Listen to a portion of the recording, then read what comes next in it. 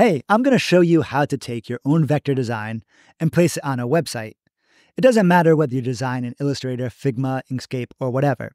Many web devs default to inlining SVG code into their HTML, and there's good reason to do so, such as not having to upload images, which also means less server requests.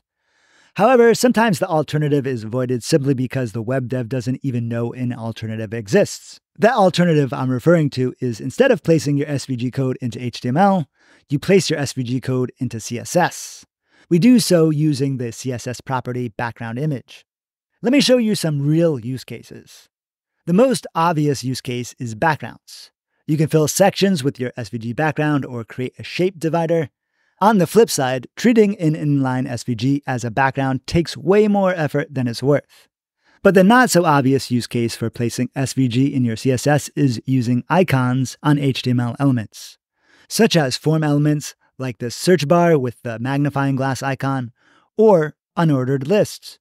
Take this list, for example. By default, the list would get disc shaped bullets that match the color of the font. Instead, we're disabling the bullet and using SVG icons. So, how do we put SVG code right into CSS? You can't just paste it as is, the SVG code needs to be treated first. I built a free SVG to CSS converter for you. Let's demonstrate how easy it is to use. We needed an SVG for the demo.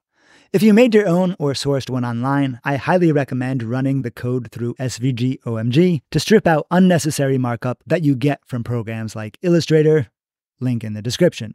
I'll grab an SVG from svgbackgrounds.com but we don't need to worry about optimizing it. I could export as CSS, but for this demo, we need to copy the SVG code. Next, we'll navigate to freebies, then SVG to CSS converter. If you're logged in, you'll find it under Tools, then SVG to CSS converter. We'll paste the code into the SVG input field, and it automatically converts and outputs what's called a data URI or data URL, which is what we can place in our CSS property background image. And in fact, we can also use the data URI on other CSS properties that accept an image value, such as list style image for custom bullets, cursor for a custom cursor, border image for ugly borders, and a few others. Under the input and output fields, there are a few options which we'll run through. In 2024, the modern option under browser support should be your choice. The legacy version was needed on older browsers that require more special characters to be URL encoded. While it still works, it adds extra gobbledygook, and the less characters, the better. If you click the various options under CSS helpers, you'll notice the output changes. Your choice will depend on which CSS property you're using. I'm going to demo the advanced background image option since it's by far the most useful.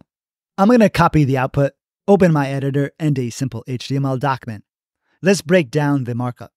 There is an H1 element which has good padding and a black background. Wrapping the H1 is a div with the class of main. The main class gives the div padding and a purple background. Now I'll paste the CSS output from the converter into the main class. The commented out lines of code are each of the properties that can style the appearance of your background image. There is an article link below the converter which explains each and every property. I'm only going to use the common background properties, so let's get rid of the others. We already have a background color, delete. We don't need background attachment, delete, nor origin, clip, or blend mode, delete. We don't want background repeat, so we'll disable it with no repeat. To position the background, we'll center it. Let's quickly remove the H1 background so we can see what's going on behind it. For size, I usually choose cover, which makes the background completely fill its container. Another great option is contain, which makes the background as big as possible without spilling outside of its container. Those are the basics you need to know. But if you're also interested in how to create custom SVG bullets, I wrote a tutorial and filmed the demo. Links are in the description. Hope that was helpful. Feel free to ask your questions in the comments. Otherwise, have a good one.